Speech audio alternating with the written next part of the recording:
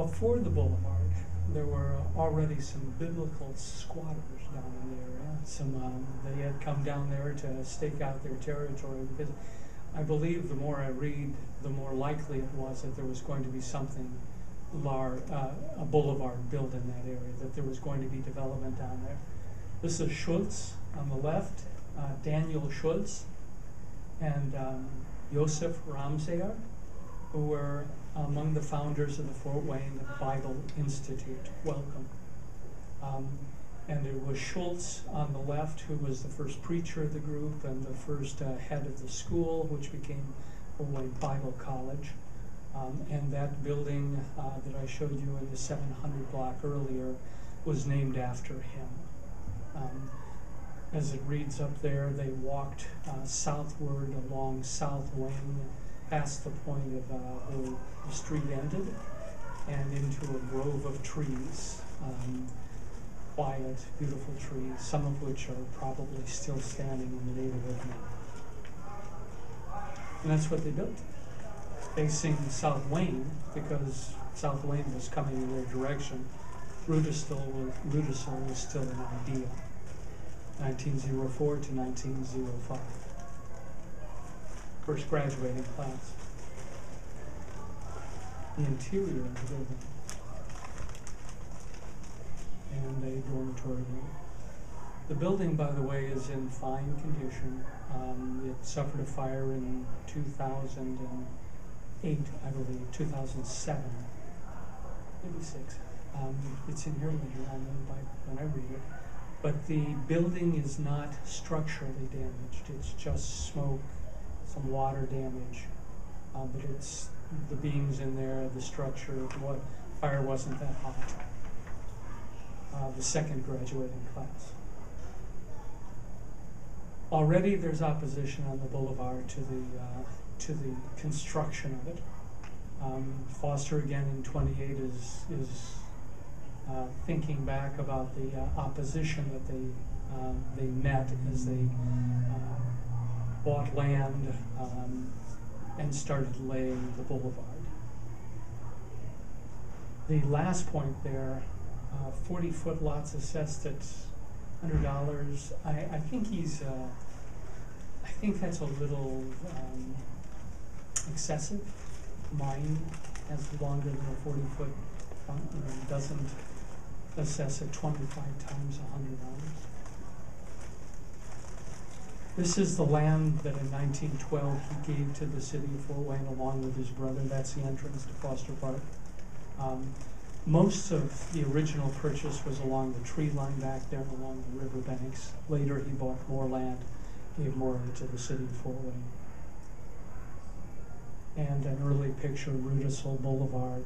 Um, note that uh, they continued to extend eastward grading and the purchase of right-of-way. World War I slowed things down. Uh, fewer houses were built in, uh, during the three years in which America was actively involved in the war.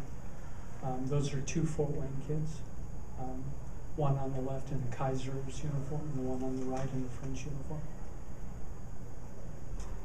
And in 1917, we're moving forward with the boulevard. 214 of those trees were planted along the boulevard. Um, it was a rough start. Most of them died. So, thinking forward, they planted American elms to replace the plane trees. It's an oriental plane, uh, I guess we also call it a sycamore.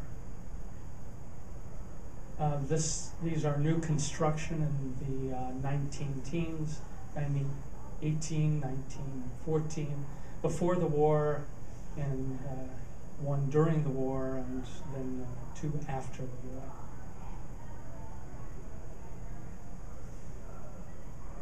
On the boulevard in the 1920s, uh, they continued construction all along the boulevard, east and west, South Side was built in 22, um, adding to the uh, movement of people toward the South Side.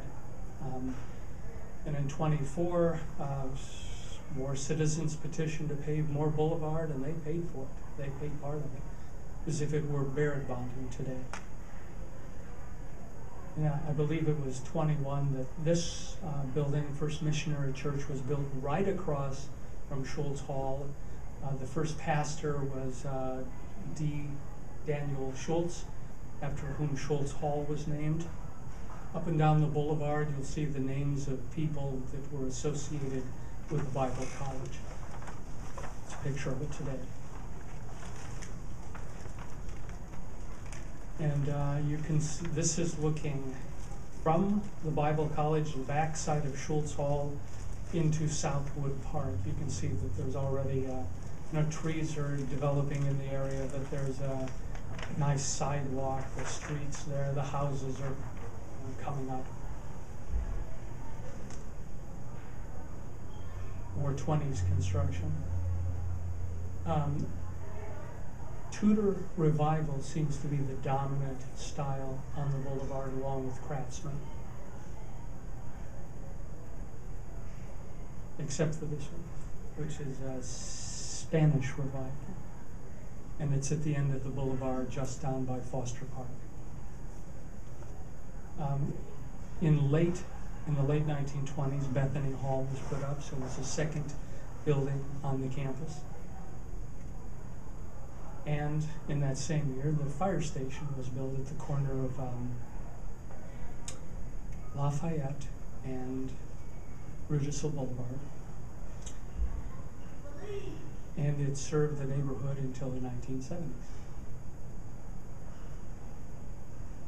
Still opposition. That's uh, Adolf Jaenicke, Jaenicke. Um, no question a great fight to overcome the resistance.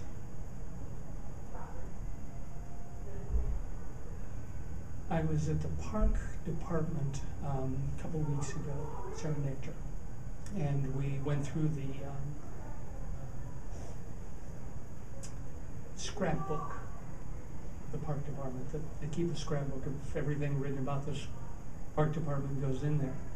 And next to an article about the development of the boulevard was a cartoon uh, showing Foster uh, firing a cannon about the size of this room, a huge cannon, at a small object on a fence post. The fence post was labeled Abendpost, evening newspaper, German newspaper in Fort Wayne at the time. On top of it was a chicken um, who had the head of um, the publisher of the Abendpost at the time, a guy named Anselm Fuelber. Anselm's tail was in the, uh, uh, looked like a lyra, lyre, right, which is a symbol of the Männerchor, of which he was a member. Um, there was a little dachshund at his feet with uh, some sausage in its mouth. Uh, and so I have a feeling that the Abendpost was not a supporter of Rudisill Boulevard, as it was uh, in, headed um, um, a great object to overcome such a small beast. I think the opposition uh, was just regular average folk in Fort Wayne, as it is today, people that didn't want to, they were just happy with their lethargy and their procrastination and just don't want to do it. By 27, well, we can't have the whole system, additions to the park and boulevard system, of course, will be made as conditions one. They've sort of given up. Foster's upset, uh, frustrated, angry, but the rest, some, some of the other ones are saying, well, you know, as, uh, as it warrants, it will develop the rest of the park and boulevard system. And Foster.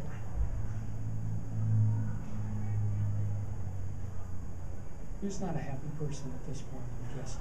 He died uh, five years later, but uh, at this point, I think he was upset because his dream, which I believe was a parking boulevard system, and I believe that he's the one, or among those who brought um, Kessler and Zueblin and the others to town.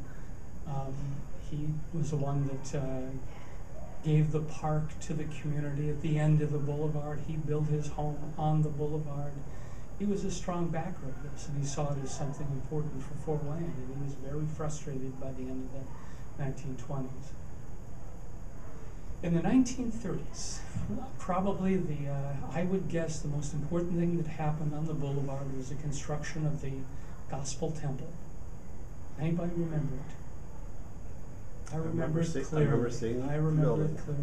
A huge building down there, next to where um, uh, the Sears was built in the uh, early 50s, and uh, it was a huge brick building that held 4,000 people at a time.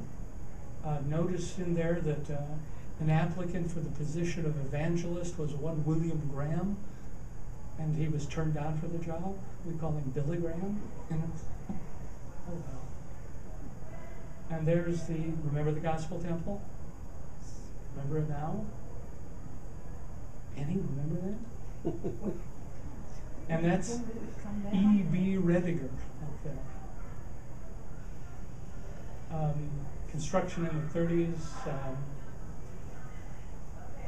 you know, the Art Moderne house up there that, uh, used to be the home of, uh, uh, the maestro of the Fort Wayne Philharmonic and, um, a couple colonial revivals that stand just to the west of the Art Moderne, same side of the street.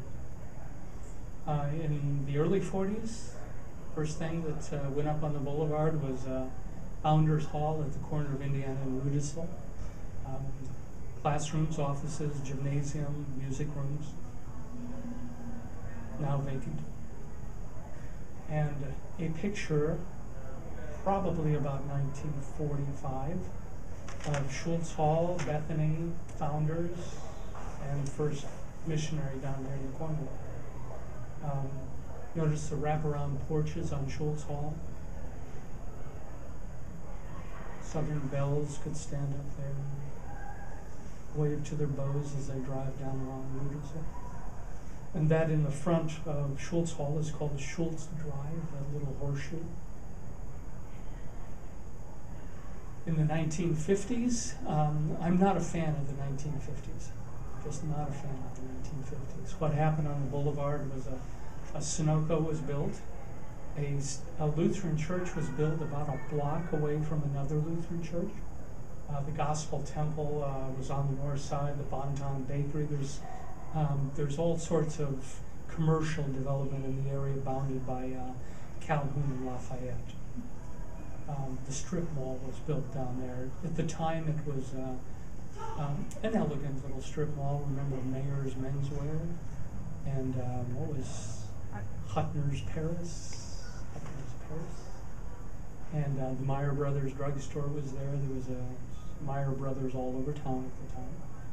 Um, I remember the dog and suds. Orange, no, yellow and red were their, their colors to bring elegance and sophistication to the boulevard. Um, in 54, the Bible College bought the Foster home, David Foster's building, and converted it to first, um, I believe, a men's dorm, then it was a women's dorm, then it was the student union. Um, and it was, I believe they neglected it every step of the way. So when I bought the place, um, I had to pull, they put, instead of repairing the roof, they just put up more drywall on the walls to cover over the water infiltration and the damage. You understand the process? There's the Sunoco station. At the uh, corner of the Pickway Road and Rudisill Boulevard.